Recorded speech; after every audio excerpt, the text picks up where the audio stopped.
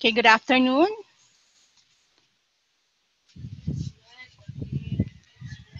This afternoon, we're going to discuss the local art or the branches of arts.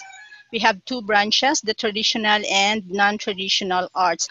So once again, my name is Emmeline F. De Guia, your OLC. Okay, so here's the objectives in this subject to enumerate the branches of art in the Philippines and to understand the purpose of it and also to appreciate the work of art. So I want Juan Carlos to read the purpose of art. Uh, purpose of art. Purpose is to encourage self-expression, creativity, and can build confidence as well as sense of individual identity to help develop our critical thinking and the ability to, to interpret the world around us. Okay, thank you. So it is very important to note that art is a creative expression of one's feelings and emotions. And also it, it serves as our identity, being individual and as a nation as well, because it also talks about traditional arts. And further, it also helps develop our critical thinking as we interpret the world around us, because we were able to uh, identify and appreciate different artworks that could also part of our culture and tradition. How about Fatima? Can you read Art of the Philippines? Okay. Philippine art refers to the work of art that have evolved and accumulated in the Philippines from the beginning of the country's civilization up to the present period. Thank you, Fatima. So does anyone here loves art? Do you love art? Yes. Anybody? Yes. So what kind of art? What kind of art? Fun, ma'am. Art, music, and drawing music. Very, very good. Music. Music is part of our art. What else? How about also drawing? Dancing. also dancing. How about painting? Architecture? Yes, ma'am. Do you, okay, do you believe that art is everywhere? Yes, po. Very good. Can you give example of arts?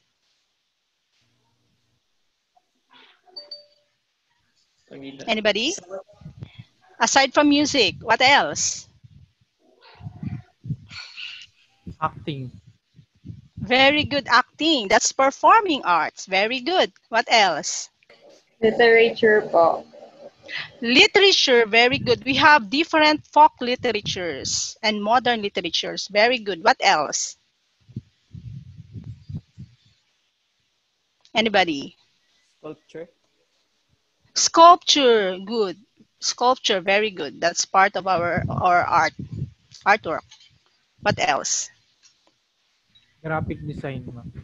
Very good. Graphic and plastic designs is an art, form of art.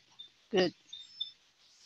Okay, so there are various artwork that we can see or found any places or anywhere around us.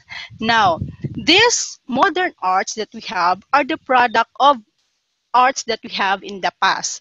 These past artworks are just accumulated and being preserved because this talks about, about uh, so much our with uh, in our uh, history. It talks so much in our history since the beginning of Philippine history.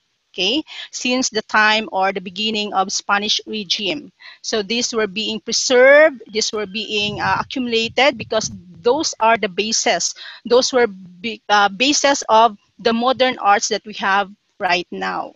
Okay, so let's proceed to the branches of arts in the Philippines. We have the two branches, the traditional and the non-traditional arts. So can you, uh, who can um, give idea what is traditional arts? Anybody? What is traditional arts? In your own understanding, from the word traditional, what could it be? Anybody?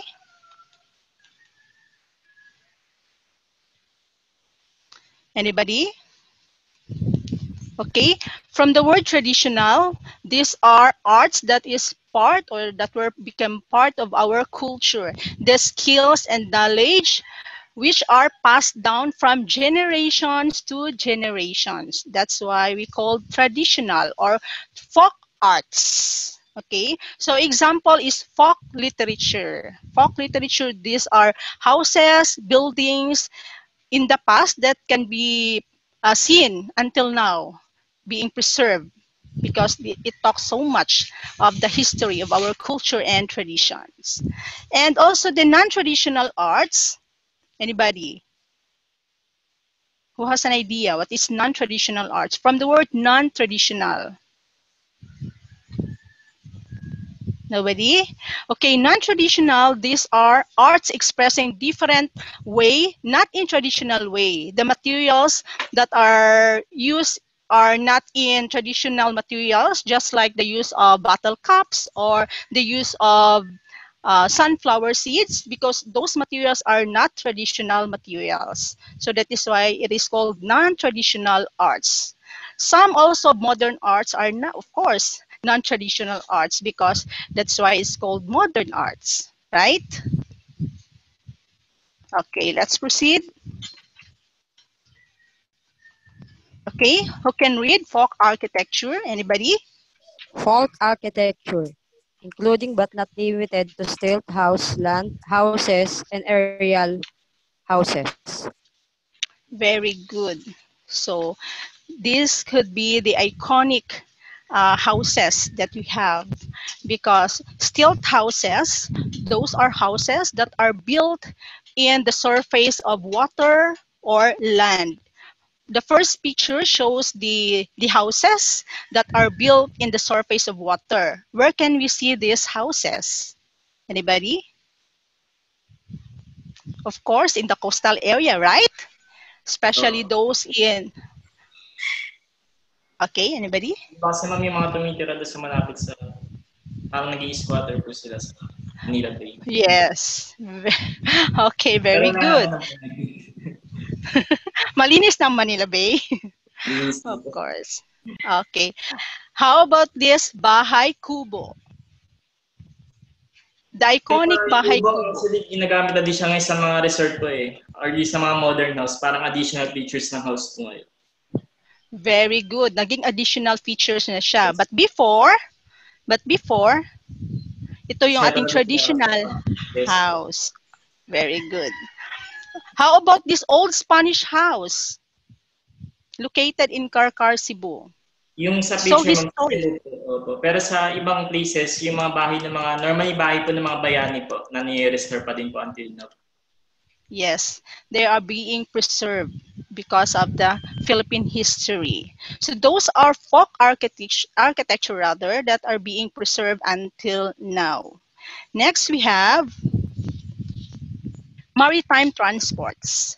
From the word transports, this um, vinta, wooden bangka, and boat houses were being or are being used for transportation to nearby places in the coastal area. So we can see this so much in Zamboanga and Jolo Sulu. Okay, vinta is a colorful boat that are also used in transportation. And also we have the wooden bangka is so popular uh, iconic also the wooden bangka. And the boat house can you describe why it is called boat house why boat house from the word house because the family is what? Living in that house. They become a they um this house rather is their permanent house. So not in the land but in the surface of water in the boat. Okay?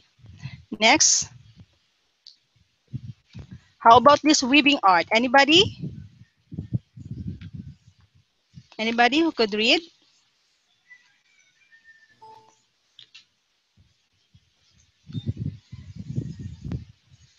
weaving art like basket weaving, the headgear weaving, the fishnet weaving, and other forms of weaving.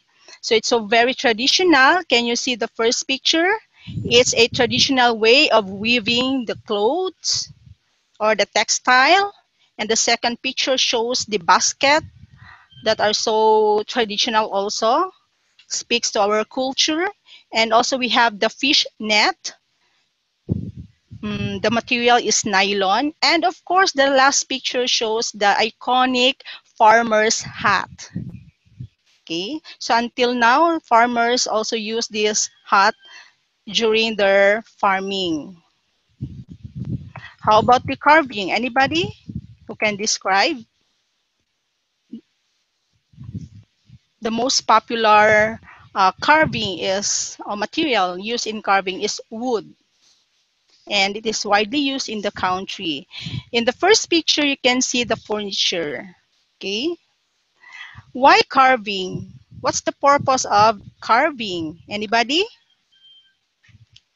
Is it served for beautification? Yes or no? Sa on yung sa statue naman po kon, ah, parang ni-remember yung mga historical people or historical events po. Very good. Now it talks about history. Okay. How about these monuments? We can see monuments in different areas in the Philippines. Numerous figures of sculpture like mga bayani. What else? Uh, yung mga iconic na images that we can see in different parts of the Philippines. How about the next one, the performing arts? I've heard Juan Carlos say, uh, uh, speak about music earlier.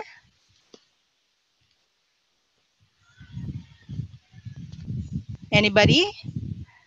Why is this part of our traditional art, the performing arts? How about the folk dances, the music, the vocals, or the theater play? What's in that performing arts that talks our culture and tradition as Filipinos? Anybody?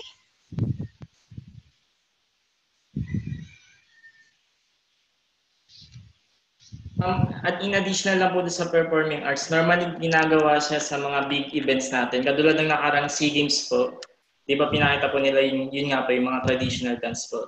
Sinama po nila sa in, sa introduction po ng po. Okay, very good. Okay, so theater theater play or dramas. Also showcase the activities of the Filipinos, the way uh, the yes the way of living of the Filipinos during those times, and also we have traditional dances that also speaks the culture of every places in the Philippines, and also the music and vocals also speaks the folk uh, architect uh, folk literatures of the Philippines. How about these popular graphic and plastic arts? That includes calligraphy. What is calligraphy? Anybody?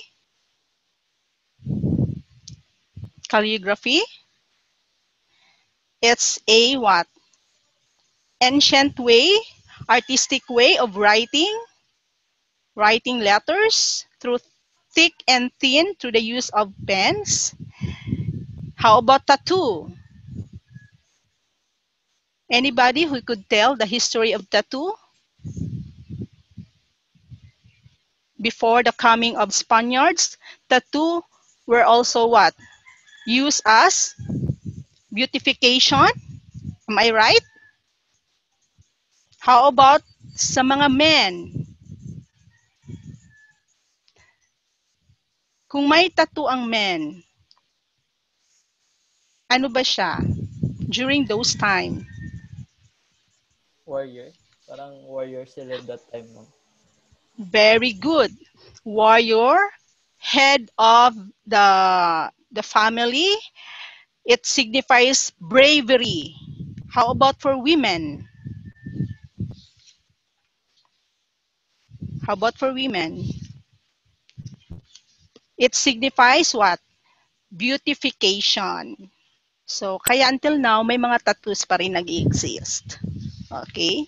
How about this drawing and painting? Because it also part of our folk arts. By the way, can you identify what is 2D and 3D? Two dimension and three dimension because this calligraphy, tattoo, drawing, and painting are belong in two dimension. And this plastic arts that you can see the last picture is belong to three dimension. What would be the difference between two dimension and three dimension?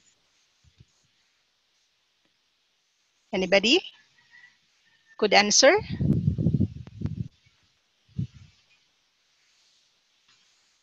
Two dimension is a flat surface by the use of, for instance, paper. But three dimension, what is three dimension? There are multiple dimension. It rotates, just like the last picture. Uh, yes. La the last picture is the picture of lanterns as decorative material. This uh, art belongs to three dimension because it what? It has multiple dimensions. It can rotate right? Okay. How about this painting? Let's go back to drawing and painting. These are belongs to two dimension. Who can give popular artists in painting? The father of um, national, uh, the father of naturalistic or realistic painting in the Philippines. Anybody who could guess? Who's the father? Amorsolo, ma'am. Very good. It's Fernando Amorsolo. Okay, so he's the father of realistic and naturalistic painting. Okay, very good. Now let's proceed. Ornament. Ornament used to embellish parts of a building or object. These ornaments are being used as decorative materials in the house. Okay, in the first picture, it shows shells, la, ano ba yan siya? Chimes, made of shells. Saan ba ito? Makikita natin in the part of the house. Normally, in? Mga pintuan. Pintuan. Yes, very good. Sa pintuan. And how about the second picture? It talks about different decorative arts, mga antiques. Okay. Could also be part of decorative arts and can be also display in different areas in the house. Very good. And the last one is pottery. Okay, pottery that includes pot making. We have also two types, the ceramic and the clay, sorry, clay sculpture. What's the difference between the two? Okay, anybody? The difference between the two, the clay and the ceramic. Okay, clay is a natural material comes from the ground, from the word clay. And ceramic is what? A material, a special material or a various materials that is being hardened or heated to form this structure or sculpture rather. So we have this traditional way and also yes, becomes also traditional itong ceramic but yung uh, clay, pot made of clay is traditional way of making pot, clay making. Okay, so now I have here a question. Why we need to learn our traditional arts? I want you to answer one by one. All of you should give your idea why we need to answer our, uh, to, to learn rather, our traditional arts. I want everyone to answer. All of you should give your idea. Pwede po mauna. Okay, it's Juan Carlos, right? Uh, Okay, go. Ako yung mag-umpisa. Okay, go ahead. Ah. Ang pinaka-purpose po natin why we need to learn traditional arts because traditional arts symbolize our culture, our heritage kung saan po nagsimula yung Pilipinas. Ah, normally, kung pupunta po tayo sa museum, doon po makikita natin kung ano po yung mga, kumbaga ano yung mga ginagawa ng mga naunang tao sa Pilipinas, kung ano yung klaseng transaction nila, which they deliver into arts po. Very good. Good idea. Thank you, Juan Carlos. Next. Who's next?